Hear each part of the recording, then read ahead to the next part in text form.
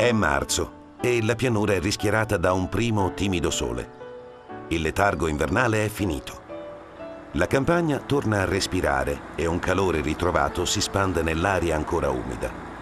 È l'annuncio di una nuova stagione di lavoro nel cuore del Piemonte.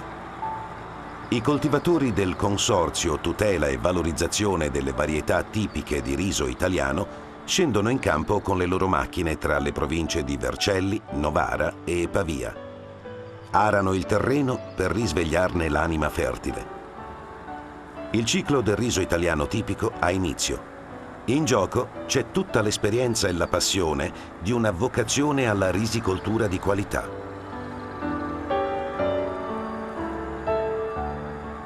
In primavera la terra viene lavorata così, ridisegnata metro a metro, livellata alla perfezione e arricchita con sostanze organiche a basso impatto ambientale, nel pieno rispetto del disciplinare di produzione del consorzio, ispirato alle più recenti norme comunitarie sull'agricoltura ecocompatibile.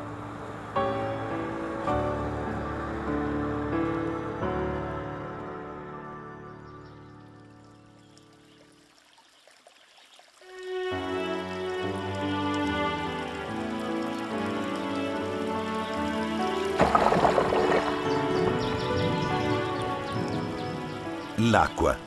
Eccola fatta giungere i primi giorni di aprile attraverso una ragnatela imponente di canali e fossi ordinati tessuta intorno al grande canale Cavour, l'arteria vitale che serve un comprensorio di 400.000 ettari. Acqua che veste di luce e colore la terra e crea un paesaggio unico e iridescente.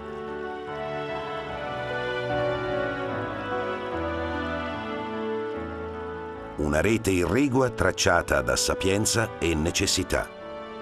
Al chicco di riso serve protezione dagli sbalzi di temperatura e riparo dalle intemperie.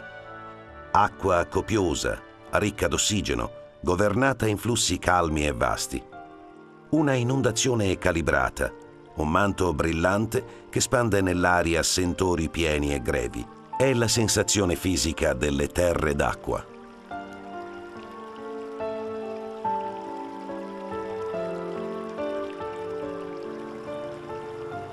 Ecco, segue il momento della semina delle varietà tipiche di riso italiano. Il Consorzio Tutela e Valorizzazione rispetta la zonalità di coltivazione per ottimizzare i risultati in campo.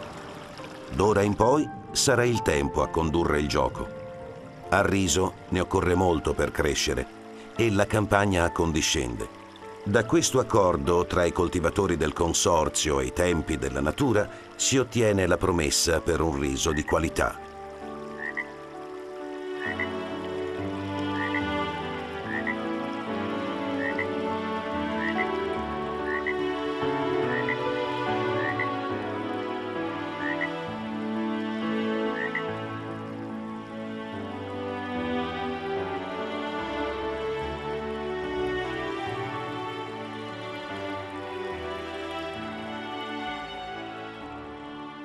I semi germogliano. I fragili steli spiccano dalle risaie allagate. L'estate è alle porte e la crescita del riso ricopre di un verde gioioso la piana d'acqua.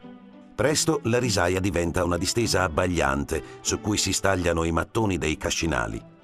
Antichi o moderni che siano, costellano panorami a perdita d'occhio lungo la valle del Po il territorio più vocato alla coltivazione delle varietà storiche di riso tutelate dal consorzio.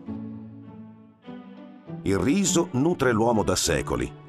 Il suo affinamento, il miglioramento delle caratteristiche alimentari, è scritto nella filosofia del consorzio di tutela, che lavora costantemente per la difesa delle peculiarità di ogni singola varietà. Nei loro poderi i coltivatori del consorzio lo sanno hanno fatto un buon lavoro, ma sono a metà dell'opera. Adesso è il sole a vegliare sui 2500 ettari di varietà tipiche. Arborio, Balilla, Baldo, Carnaroli, Roma, Sant'Andrea e Vialone Nano.